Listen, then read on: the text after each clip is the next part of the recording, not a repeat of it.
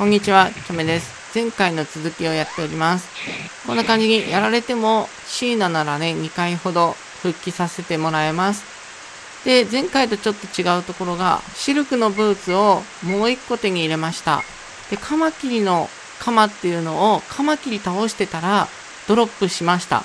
見てわかる通り、こんな感じ。訓練ポイント7ポイントあと余計にあります。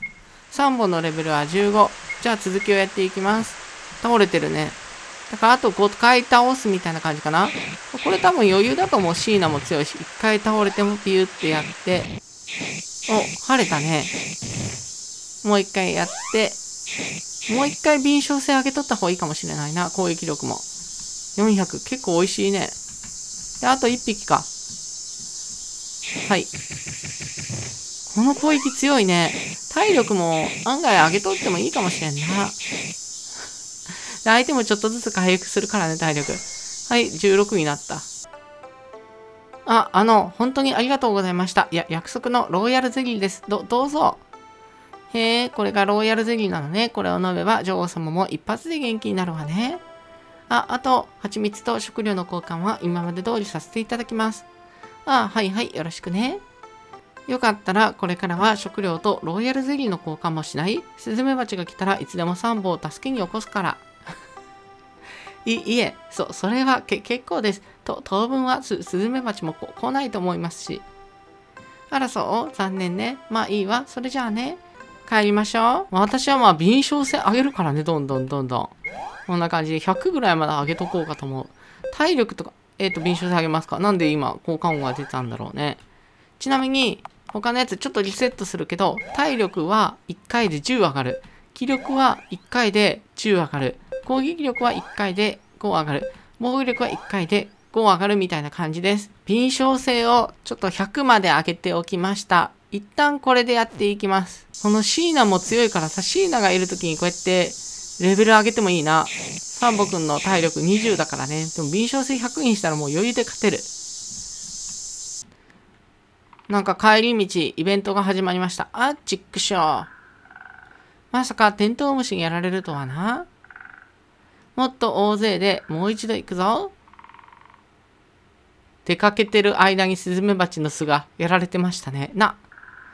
なんなんだ、お前らは。なんだ、まだいたのか。よくも仲間を。ふん。元気になったかなしばらくここで休むようにするよ。さあ、戻ってきました。え？どうしたの？一体何があったの？う、うーん。あ、シーナ。一体どうしたっていうのよ。さ、侍アリが子供をさらいに来て。な。さらう子供がいないからって女王様をさらっていって。奴ら死ぬまで女王様に自分たちの奴隷となる子供を産ませるつもりだ。サンボ。シーナは侍アリの巣のところに行ったに決まってる。でも彼女が行ったところで何もできやしない。お願いだ、シーナを、女王様を助けて。え、侍アリの巣はどこだってどこだろう？シーナなら知ってると思う。言っちゃったかな？と、とにかく頼むよ。前回の動画で言ったところですね。あ、また餌がかわいそうに逃げられちゃったね。何度も何度もご迷惑をおかけします。なんか、すごい、戻ったらみんな倒れてるんだけど、これ、夕方だから寝てるわけじゃないよな。怖っ。なんだ、この間のテントウムシか。トカゲの尻尾は取れたのかい？え、アリンコ娘を見なかったかって？あんた、あの小娘の知り合いかい？今、ものすごい勢いで私にぶつかっていったよ。おかげでまた鬼雲に逃げられちまったじゃないか。ああ、侍アリが襲ってきた？ありゃ、気の毒だったね。侍アリの巣？確かミツバチの家の南の側の黒山アリの巣を見たことがあったな。黒山アリじゃなくて侍アリだってあんた何件も知らないんだね。侍アリってのはね、1年に1回奴隷狩りをするとき以外は巣から出ないんだよ。普段は奴隷のアリが出入りするだけ。この辺では他に黒山アリを見かけないから多分あそこが侍アリの巣だよ。ああ、案内しろだ。冗談じゃないよ。私は鬼雲狩りで忙しいんだ。逃げられたばっかりだしね。途中にきっと鬼雲がいるって。まあ、いっか。この辺じゃもう枯れそうにないしな。その代わり狩りを手伝うんだよ。いいね。おお、べっこう鉢のノンが仲間になったよ。どんな技とか使ってるんだろう。飛行、行きたい場所まで飛んでいける。毒針攻撃、ダメージ30。強いね。だから半妙の岩場からね、南に向かっていけば OK ですね。他のも誘えるかちょっと見てみよう。お花畑なんて私の趣味じゃないよ。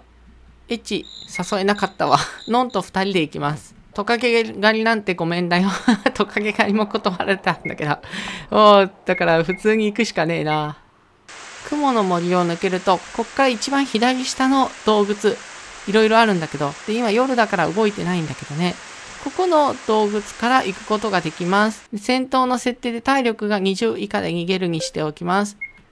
私の今体力20だからね、40だったら40とか設定をします。最初左に行って、こんな感じに上行って、途中敵に当たってもこれ夜行性だからね、ハサミムシが現れた。これもすぐ逃げることができます。この辺どんどん逃げてもいいと思います。で、こんな感じで行って、もう先行けば、もう、侍アリの巣です。この左ですね。結構迷わず行けると思う。これはね、確かこっちの方だったと思う。じゃあ、先に進んでください。カットです。戦える人は、こうやって逃げるとか選択しないで、戦っても OK です。私の場合はちょっと1回でやられちゃうので、今逃げました。で、この先に進むと、アリの巣があります。さあ、夜でも入れるのか。ここなんですけどね。こ、ここは黒山アリの巣です。ほ、本当です。侍。こ、困ります。勝手に入られては。戦う感じなのかなひそ、そんな誘拐なんて入れたわ。簡単だったな。ん？侍アリの巣に入っちまったじゃないか。私はもう帰るよ。ここには鬼雲いないしね。え、マジで？もうちょっと付き合いだって？鬼雲見つけたら捕まえていてやるだ？分かったよ。もうちょっと付き合ってやるよ。鬼雲は期待してないけどな。よかった。一人で乗り込むかと思ったわ。ちなみにこの下は何なんだろう。後から行く感じになるのかなただ池があるだけかな。あの、特に何もなかったです。頼もう。鍵がかかっている。あ、謎を解いて上の鍵を開けて乗り組む感じか。じゃあちょっとずつ行ってみるか、左の方から。今適当に言ってます。もう記憶が定かじゃないから忘れちゃったから。うわーめっちゃいる。これは仲間なのかな？話せる？どれやり。で、これが侍ヘリかめっちゃ来てる。くせ者 どんな感じだろう？いいね。4回で倒せる。しかも敏捷性100だから。180も手に入れた。で、1回倒したらもうセーブみたいな感じ。私の場合はもう1回でも当たったら多分やられちゃうからね。で、下の方に行って。いいね。かっこいいね。結構相手の行動力が遅かったらレベル上げにもなるよね。大丈夫だね。いいね。180。いいね。いろいろ飾ってあるよ。どっから集めたんだろうっていうか、どうやって作ったんだろうこの鎧とか。すごい技術力だよな。ありなのに。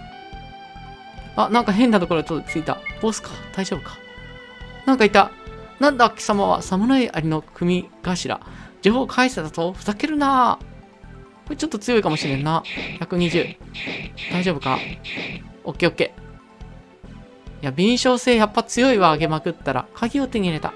これで最初のところの鍵を開けれる感じか。最初のところに戻ってみました。左下とかも気になるから行ってみよう。私全部行ってみたい派なんですよね。くせ者。ここはみんなが寝てるところかな。うわ、1回は耐えれる。一応17。やられちゃった。だからセーブ大事ですね。こうやってセーブした後、ロードした後はまたこうやって変わるからね、対戦が。この人たちは何だろう。寝れるのかな？休める？全然休めなかった。ベッドがいっぱいある。どれあり？下とかは何なんだろう？どれあり？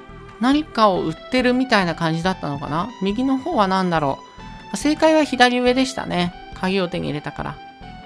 右下とかは訓練場みたいな感じか。もう全員どれあり、はてなはてなになるからね。で、こうやって侍ありが徘徊してるみたいな感じですね。最後に右上も見とこう。お、なんかいる。てんてんてん。じゃあ鍵を開けてね、先に進んでいきます。ここですね。お、A を押しただけで通れたよ。お、もう来たのかなボスのところ。セーブも大丈夫。本当何回もセーブしてる。まっすぐ突っ込んでみるか。あ、またここで鍵がかかってるか。さっき左に行ったから、今回右の方にありそうな感じがするから、右に行ってみよう。あの狛犬みたいなやつ、謎解きになってんのかなこれは？ただの飾りか。探さないといけないからな。この辺とか、くせ者。やばい、やられちゃうぞ。あと1回でも当たったら。頼むよ。オッケー。はい、倒したらもうセーブ。3本。七星コンボ覚えた。なんかいろんな技覚えてんだよね、私。七星コンボ。これ10使うからさ、1個上げないといけないよね、気力。で、扇風客とか。はい。お、なんか変なところについちゃった、また。うわめっちゃいるじゃん、くせ者。3匹も現れたんだけど。やられちゃう。危ねえ。なんかさ、すごい仏壇みたいなのがあるよ。仏教信者なのかな？や、楽ですわ、ほんと。下は外れだったから、右の方を探していこうか。右も外れだ。なので、右側は外れだから左に行きましょう。今回も左の方が正解だったか。はい。でこれはどっちだろう？左行ってみるか。まあ、迷ったらもう左の方がいいのかな。めっちゃ速いじゃん。追いかけてくる。二人に囲まれちゃったんだけど。勝てるかな？勝てたよかった。セーブ間に合うかなはい。てか、べっこう鉢、さっきから全然攻撃してくれないんだけど。やられちゃった。先に進みましょう。また頭みたいなのがいるはずなんだよね、どっかに。わ、いっぱいいるな。ここも外れっぽいけどな。こっちも特にね、何もなかったです。だから下ですね。一番最後の道が正解でした。早っ。まだ分かれ道がある。左行ってみるか。ここもただ寝てるところのやつか。関係なさそうだな。まあでもレベル上げにもなるからね、全然いいけどね、こんな感じで。とにかく私の場合は、相手の敏捷性が低い敵で、経験値めっちゃ稼げる敵がいいんだよね。だからこの前だったらカマキリが良かった、マジで。まあ負けてもコンティニューすればいいだから。ってだからね、こっちとかは、なんかいろいろめっちゃ広いじゃん。こっちの方とか。いろんな部屋がある。こんな感じでトレイありとか。今自分がどこ走ってるのかもわかんなくなってきちゃったな。こっちまだ行ったことないよな。長いよ。あ、到着したみたい。今が正解の道です。組頭がいました。だから私の今の通りに言ってください。組頭は攻撃力がすごい高いけど、行動力が遅いみたいな感じだから、一気に倒せたみたいな感じかな。鍵を手に入れた。じゃあ戻りましょう。いろんなところにベッドあるよね。アリもベッドで寝るっていうのが面白いよな。下の方とかはこんな感じちなみに。ここもね、寝る場所のベッドとかがほとんどでございました。タンスも置いてある。だから左行って、下行って、先行くみたいな感じですね、正解は。さあ、先に進んでいきましょう。体力もまだ12で回復しておりませんが、どっちだ？また迷路になってるよ。右行ってみるか。さっきのところはめっちゃ外れたからな。あ、こっちで合ってるっぽいな。なんか下はただの寝るところだったみたいな感じですね。お、到着したか？侍の組頭、なんだ貴様は、鍵を開けてくれただと？ふざけるな。ここでも鍵を手に入れる感じなのかな？あ、やべ、やられちゃった。今回は攻撃受けちゃった感じですね。まあ基本こうやって一方的に倒せるんだけどね。あれ？こいつ鍵を持ってないじゃない。仕方ないね。他を探すよ。えー、ただいただけかい。なんか探すんかな？あ、戻ろうと思ったらなんかイベントが始まった。あ、鍵が壊れてる上。こいつら、なんだって倒れてんだ？扉も壊れてるし。うわ、びっくりした。貴様ら、よくも我が同胞を。僕じゃないだとふざけるな。他に誰がこんなことをするというんだが。フェイがいるのかな？もしかしたら。この先は死んでも通さんぞ。下が気になるからちょっと下行こう。下はただのこうなあ、ドレアリのなんか女の子バージョンがいるんだけど、ここで手当てしてくれたりとかしたらすごく嬉しいんだけど、セーブはいつでもできるから、これだけは本当親切設計だよな。じゃあ挑んでいきましょうか。将軍だって、170ある。1回でやられちゃうな。体力調整とかもした方がいいかもしれないな。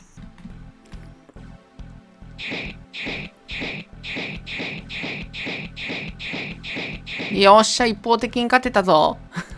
テイク5ぐらいです。何度もやってたら勝てます。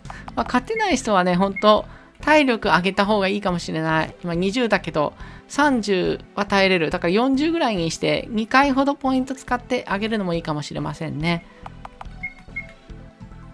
お、いた。さあ、女王様を返せ。やっぱフェイだったわ。お、おのれ強っ。女王様、ご無事でシーナもいるからね。助けに来てくれたのですね。ありがとう。あ、サンボ、何しに来たの？え、助けに来たんだって？あらそう？もうでも済んじゃったわ。扉の鍵、フェイが蹴ったから簡単に壊れたわよ。まあ、1回目と2回目開けたの私だからな。なんでフェイがいるかって？それは手伝ってくれるよう頼んだからよ。勢いよく飛び出してきたとはいいけど、よく考えたら私だけじゃどうしようもないからね。フェイに一緒に来てもらったのよ。これ、シーナ、サンボよ。来てくださったことに感謝してますよ。さすが女王様。さてと、侍ありの女王よ。覚悟はいいか。ぐお待ちください。あなた方は黒山ありですね。もう大丈夫よ。侍ありの女王はこれからやっつけるから。それだけはやめてください。え、なんでよ？ずっと奴隷のままでいいの？やっつければここから脱出できるのよ。脱出してどこへ行けと？え？あ、そりゃあなたたちの国へ。私たちは卵の時にここに連れてこられたのです。自分がどこで生まれたかなんて分かりません。気の毒に。気の毒？私たちがですか？なぜですか？なぜってあなたたち自分の状況がわからないの？奴隷なのよさらわれてきて無理やり働かされてるのよ自分が奴隷だなんて思ったことはありません。物心ついた時にはこの国にいたのです。ここが私たちの国です。私たち働きありは国のため、女王様のために働くの。それはあなただって同じでしょうあなた方が女王様を倒すというなら、私たちは女王様を守るため戦うまで、たとえ勝てなくとも、私たちには他に行く場所などないのですから。なんかすごい奥が深いな。帰りましょう。女王様、本当によろしいのですか？侍が奴隷狩りをやめるとは思えませんが。でしょうね。侍アリは奴隷狩りをすることによって生き延びてきた種。奴隷なしでは生きてはいけないでしょうから。でも今回のことで懲りたでしょうから我が国へはもはや攻めてこないでしょう。多分他の黒山アリを探しで攻め込むでしょう。襲われる国は気の毒だとは思いますが、それはその国の問題です。侍アリだって自分たちの国を繁栄させるために奴隷狩りをしているのです。そのことを批判しても仕方がありません。どんな虫だって種を存続させるために精一杯生きているのです。そのための方法はそれぞれ違いますが、私たちは私たちのやり方で繁栄していきましょう。他の国を滅ぼすことが私たちの方法ではありません。はい。べっこう鉢のノンさんでしたね。この度ありがとうございました。あ、そういえばいたね。一回もあなたの攻撃見てないけどな。礼はいいよ。狩りに来たついでだしね。へいよ。帰っていたのですね。はい。国へ戻ってくるのでしょうか？わ、私はあなたは旧国の英雄よ。早く帰りましょう。みんな待ってるわ。そなたは今回のことで長く国を留守にしていた分を十分に取り返しました。さあ帰りましょう。は、はい。よかったね、ある意味。結局、鬼雲は枯れずじまいか。まあ、お前らは良かったんだろうけどね。じゃあ、私は帰るよ。さよなら。え、僕よりフェイの方が頼りになるのかって？そりゃそうよ。嘘よ、嘘。フェイは勝手に国を出て行ったところでみんなに迷惑をかけたことを気にしてたみたいだから女王様のために戦いは帰りやすくなるのかな？なんてね。さあ帰りましょう。今回はここで終わります。ご視聴ありがとうございました。次回は M1 グランプリに参加すると思います。では失礼します。